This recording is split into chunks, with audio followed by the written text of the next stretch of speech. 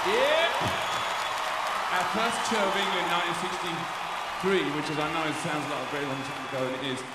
Uh, we toured with the Everly Brothers, and we toured also on the bill with Little Richard, and we also toured with a guy that we loved very much, just as much as all those people. And we're going to bring him out tonight, and we're going to do a tune together. And we'd like to welcome Bo Diddley.